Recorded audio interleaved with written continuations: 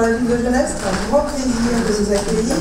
Pourquoi? Parce que la thématique de l'habitat collaboratif, le fait d'habiter autrement, de s'approprier différemment son logement, au-delà de son logement, bien évidemment, l'espace public, l'espace commun, la ville, est une thématique qui est une thématique qui résonne avec une particulière importance en ville de Genève, de manière générale, dans le canton de Genève. Donc l'idée de travailler sur une autre façon d'habiter, c'est également pour nous, les pouvoirs publics, la volonté d'apporter des réponses qui sont des réponses différentes, innovantes, peut-être plus en résonance avec les problématiques euh, qui sont les problématiques actuelle, quotidienne des habitants et des habitantes. And nearly everywhere, depending on the political climate, it's either to the market or to the state to provide housing.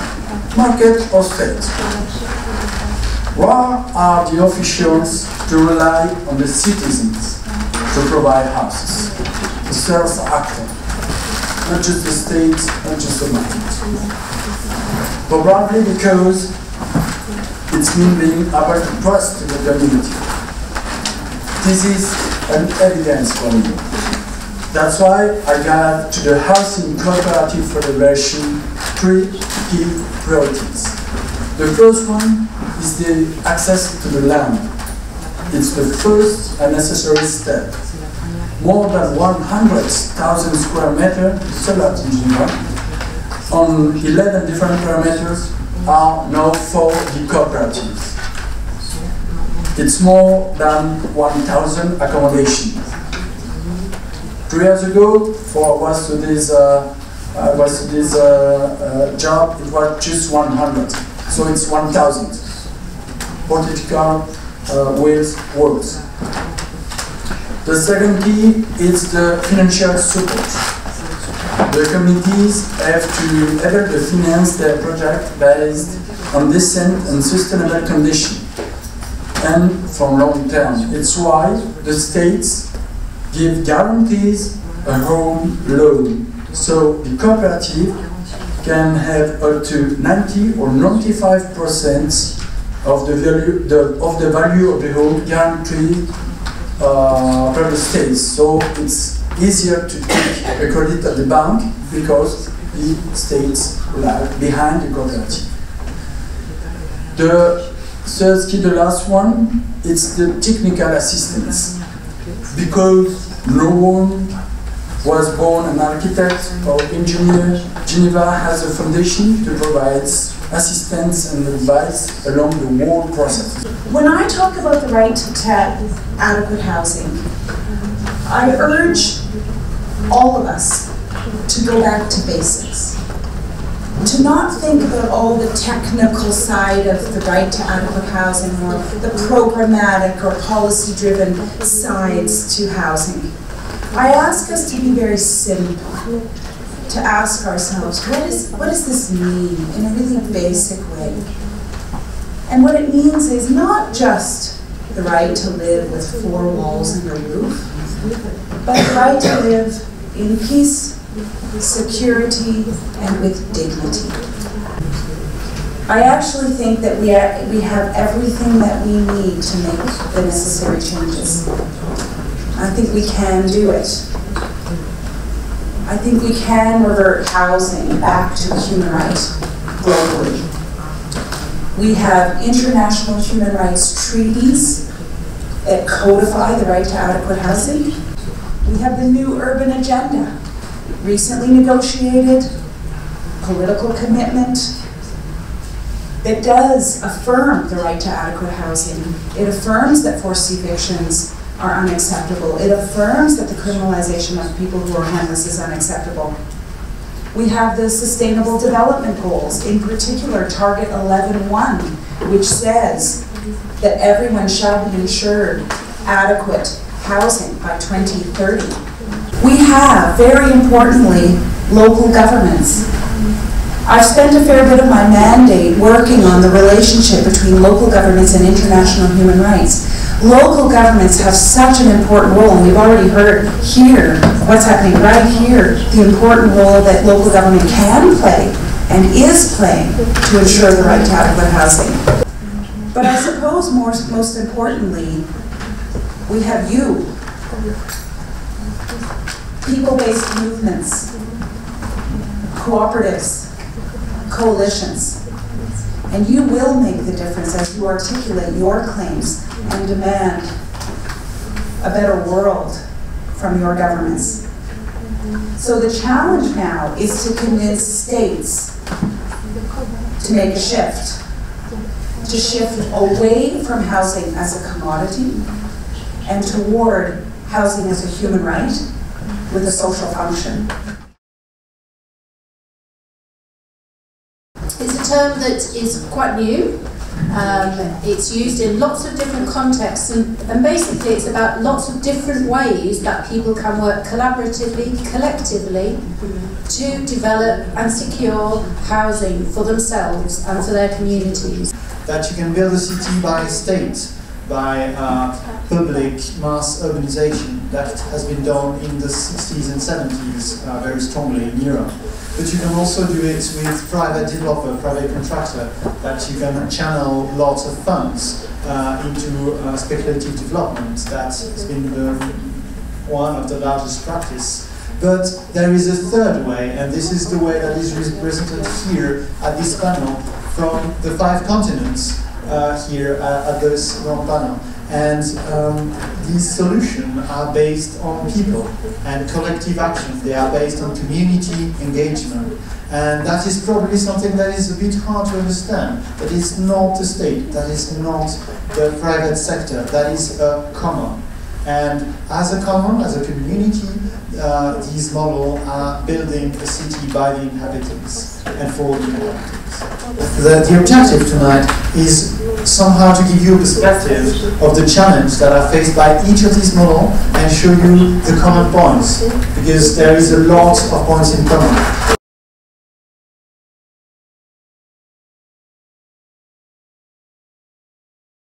Land is the key, it is the foundation, it is where you start when you want to extract housing from the market. It is where you start when you want a community to organize, and it is way that you extract this land that will define a lot of other things. And Antonio just, just earlier talked about uh, FPLC. For those of you who have come from Geneva, will know that this is a foundation that buys something around 20 million of uh, land from the private market to lease it back to the housing cooperative, so to extract somehow the land from the speculative market and enable housing cooperatives. So um, I think that you have very similar uh, initiatives in Latin America and that you build land banks. Please tell us a little bit more about this? Buenas noches. In Uruguay, we have a two mechanism First, in national level, we have a land bank that was created in the 90s. The government buy lands and with the agreement between the government and social organization, FUCVAM, that is the Federation of Housing Cooperatives, the government command to reserve the land for the cooperatives. And so when the cooperatives has the money, it's buy the land for a government at a good conditions.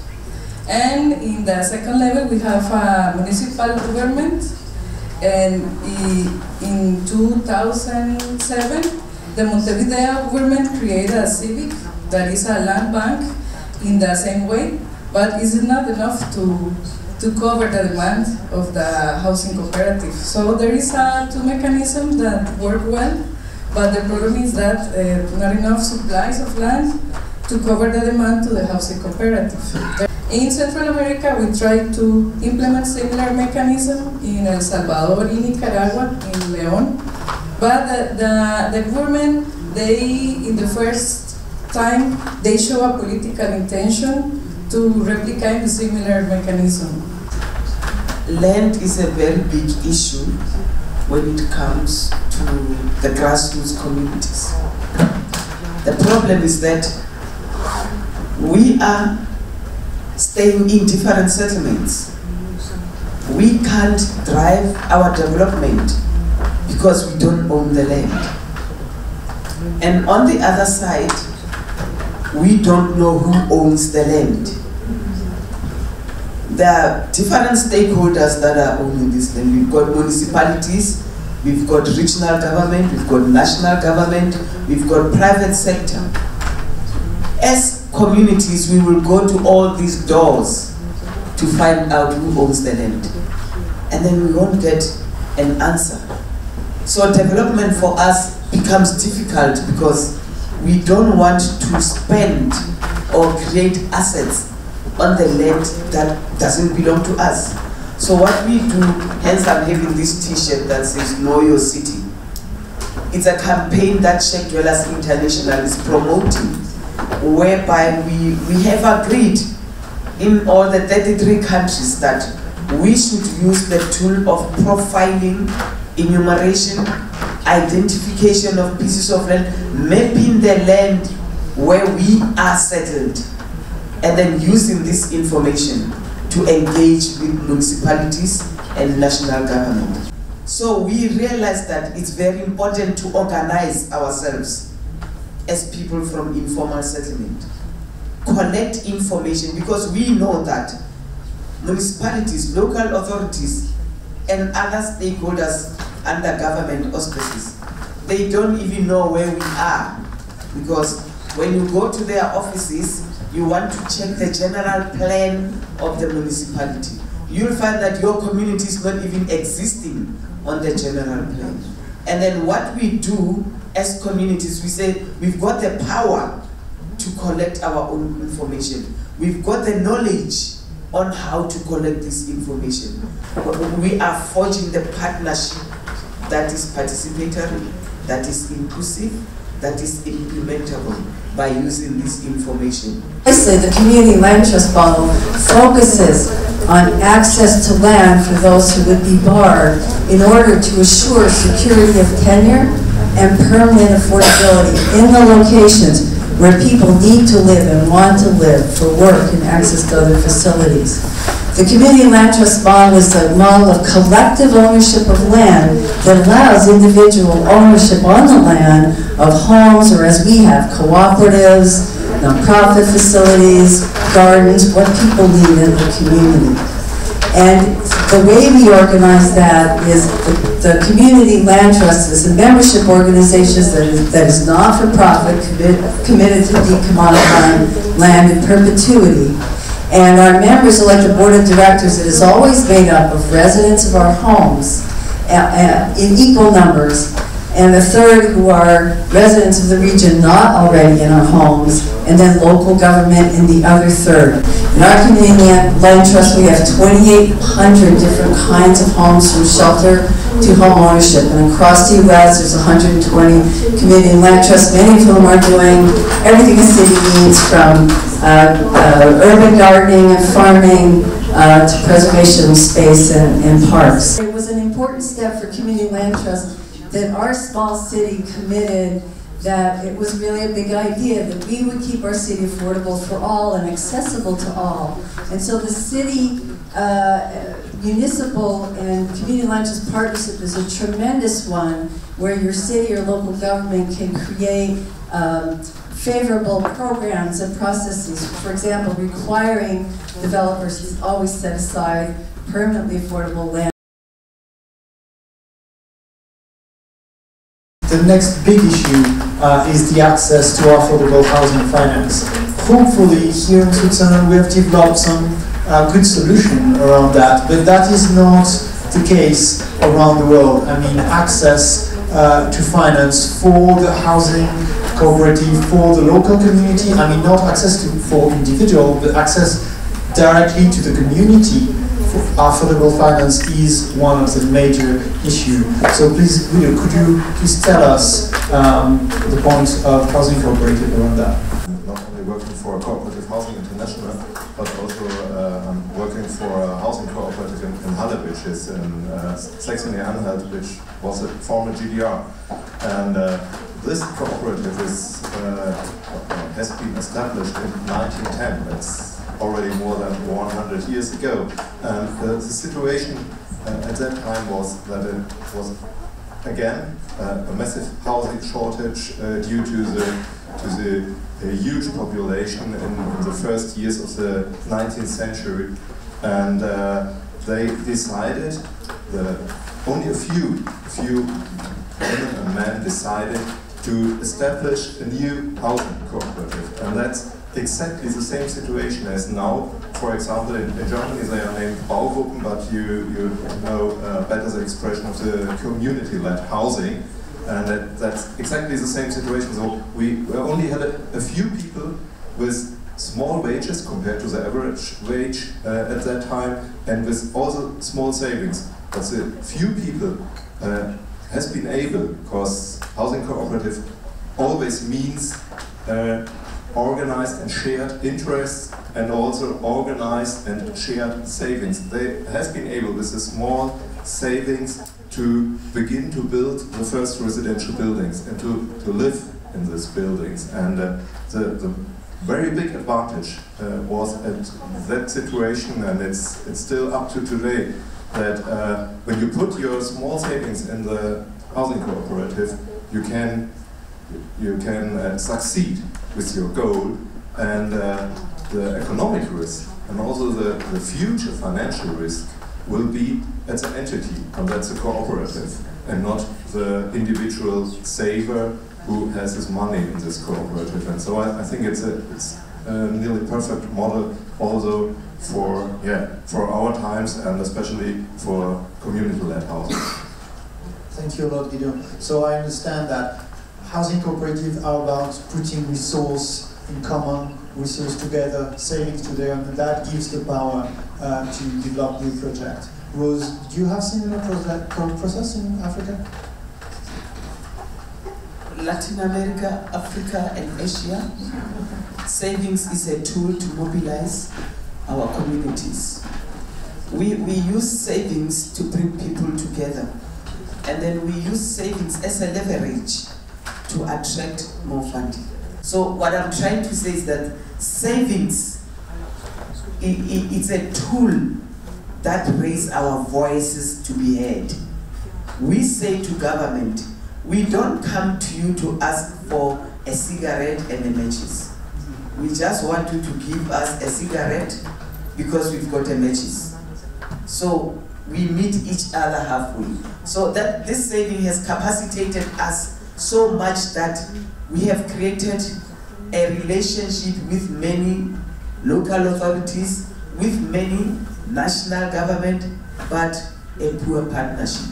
So you can understand the difference between relationship and partnership. They will agree to support us, but when it comes to implementation, oh, zero. So our savings is giving us the power to continue to talk. That's why I'm here with you today. It's because of the savings. If I was not saving, you were not going to recognize my existence.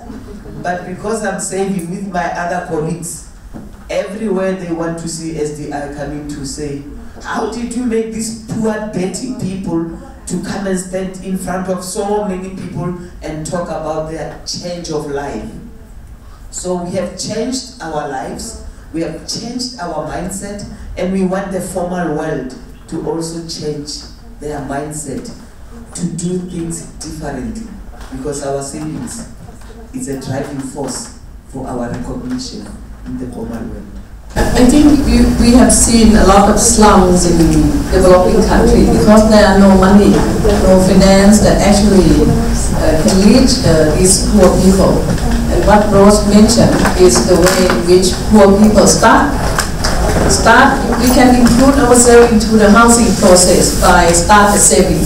Getting together, uh, allow the demand side to be active and work hard, doing our homework, make a survey, uh, trying to understand who owns the land, uh, what, what is the system relating to the land and housing, and how we could work to secure the housing.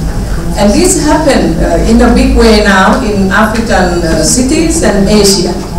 And we support uh, the community to get together to do this survey, to start the saving, and to build the city fund. So you need two tiers.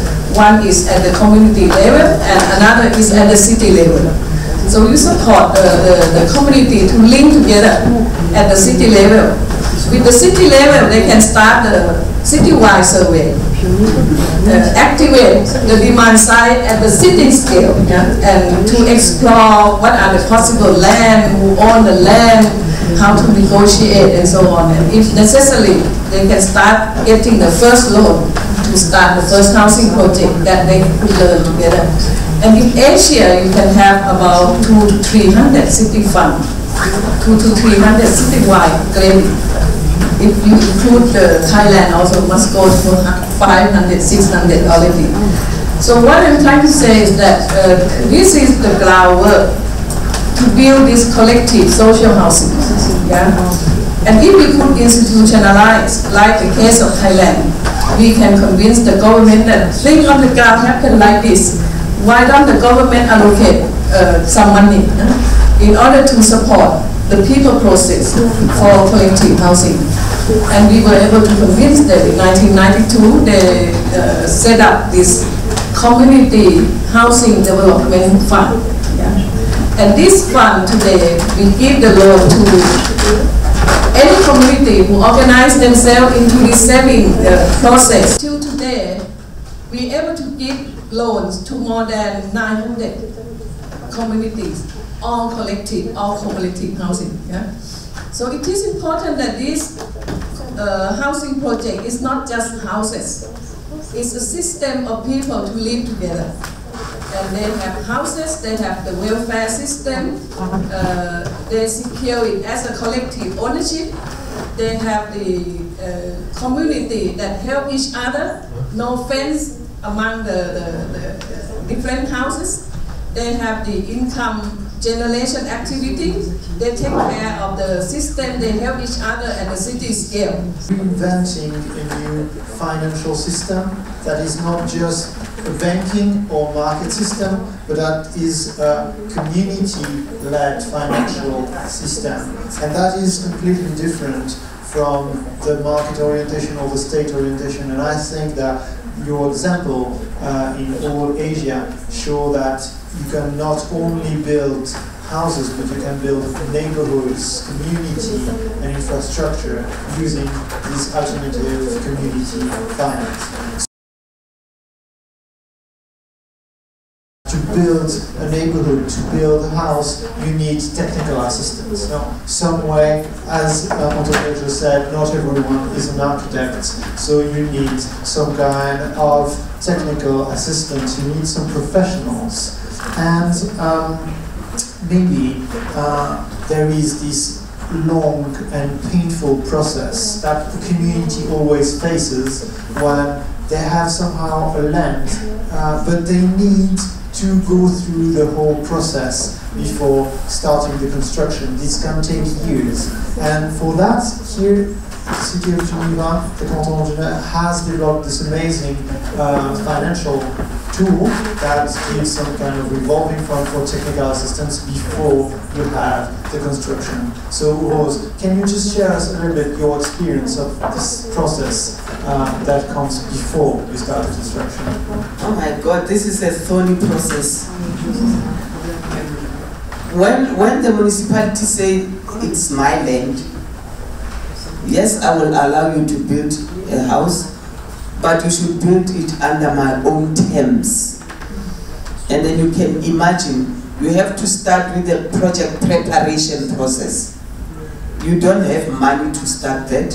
You have to hire an engineer, professional engineer. Now we have to spend our savings to pay the engineer.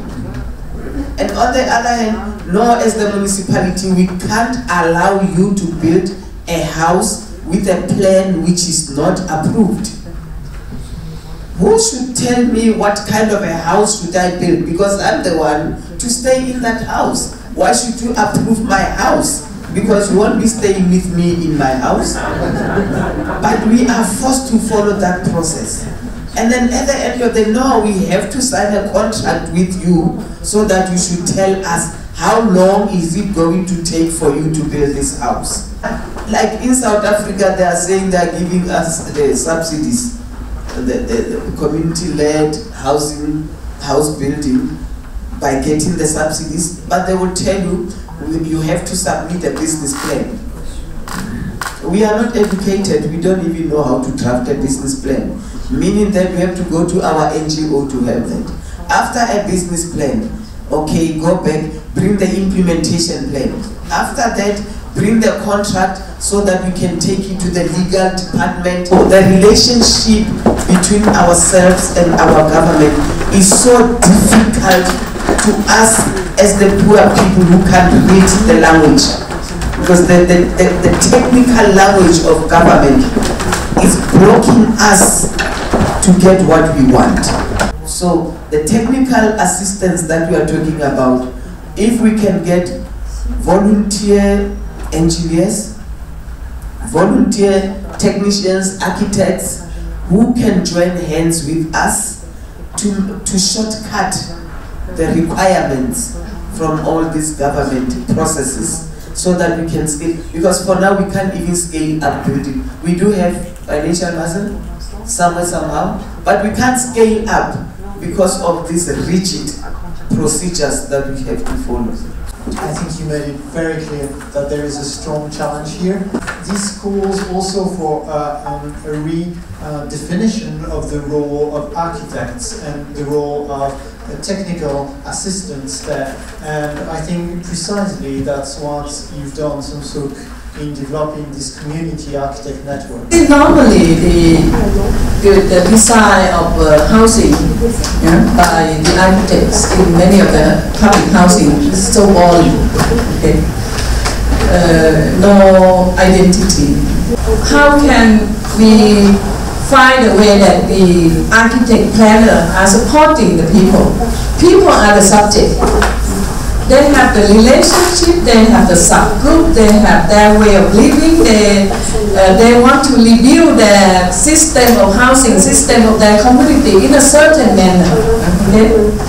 Architect is supposed to help that uh, into a form of change. Architect help in the proper transformation uh, from the, the social system into the form of community in which it suits that group of people. Yeah. So we need to, to change the way how architect or planner or even engineer and others uh, supposed to do for this kind of community housing. Yeah. And this, this is the reason we have this uh, community architect network. We make also the become architect for their own design of their own community. And this is the beauty of this. Yeah?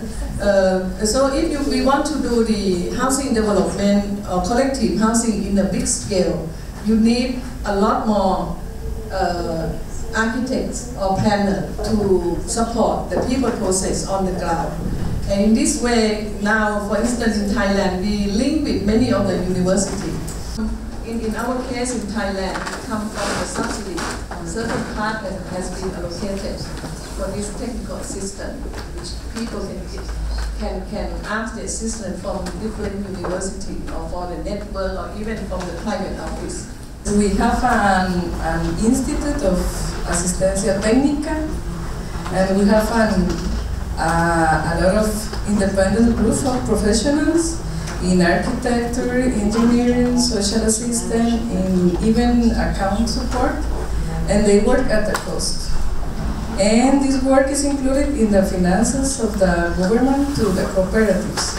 We have a mutual aid, and we understand that the process by which the people build their house, uh, we, we build we, uh, ourselves, themselves, but with a technical assistance. This is the difference between self-construction and mutual aid.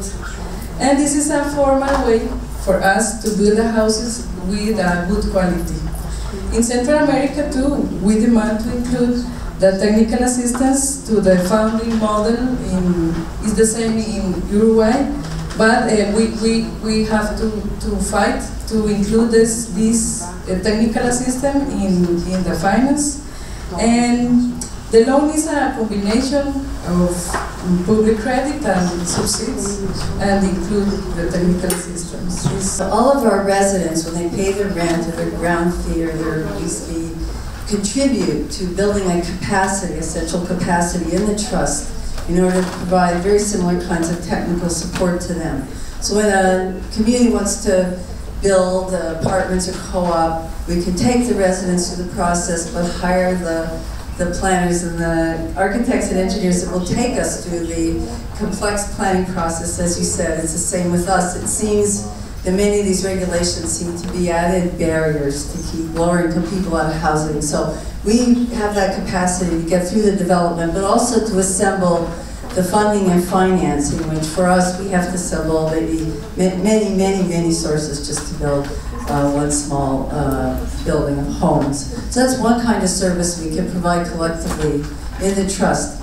The second kind is that something that's very important to all of our residents now because of the financial crisis and then following on what's happened to workers uh, in our country in terms of their, their um, their uh, economic instability, even in the workforce. And so we provide financial education for people trying to buy homes and credit repair and how to access a good mortgage and those kinds of things. And we do the same thing for people wanting to rent so that folks can, on a small budget, manage the security of their home because we want people to have access and also security in the long term. Today, we're having a very, very special thing happening.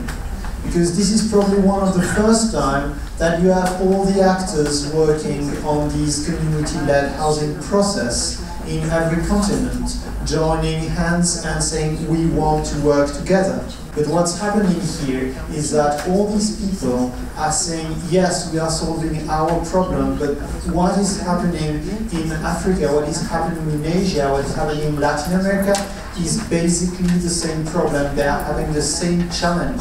So why not do it together?